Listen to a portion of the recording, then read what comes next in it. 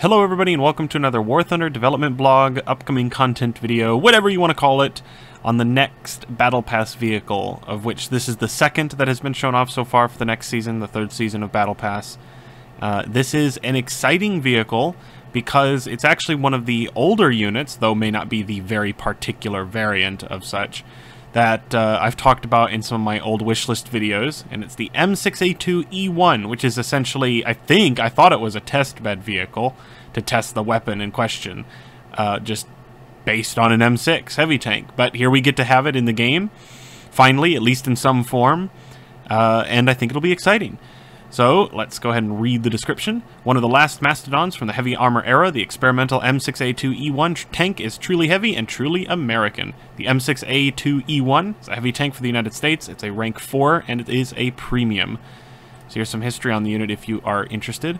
So let me see if it actually says here anything about what it was used for.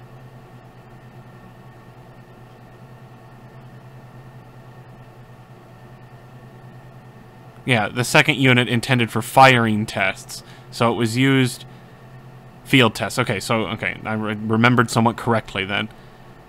Good, good, good. Because it uses the gun that would and turret, which were later implemented to the T-29 heavy tank.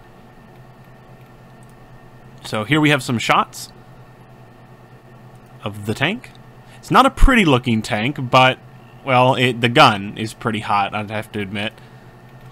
War Thunder hasn't had new heavy tanks for a long time. Meet the premium American M6A2E1, a true old-school armored giant and one of the heaviest tanks in the US lineup. The chassis of the tank is a modified and reinforced T1E1 heavy tank. Also, they said there hasn't been new heavy tanks for a while. It, we've, we've had new heavy tanks recently. What the hell are you talking about? The machine gun and the driver's hatch on the frontal part of the hull are welded, with an additional armor plate appearing instead.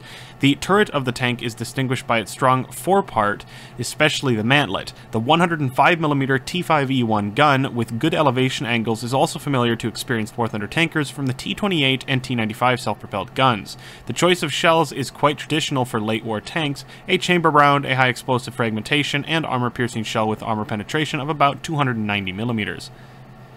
The huge mass of 77 tons affects the speed of the M6A2E1. The tank is slow, especially in mud, soil, and ramps. Due to its large size, the tank is also highly noticeable, so it will not be easy to hide it. On the other hand, unlike the late American heavy tanks, the M6A2E1 is harder to penetrate from the whole frontal projection. projection.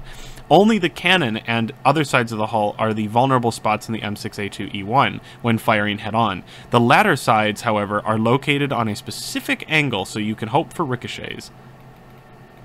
Here we got some more screen shits of the vehicle. So it's got extra armor on the front. Since the M6 is not actually a super well-armored heavy tank, in my opinion, um, this kind of gives it a little bit more of a stand-up at the tier that it's going to be fighting.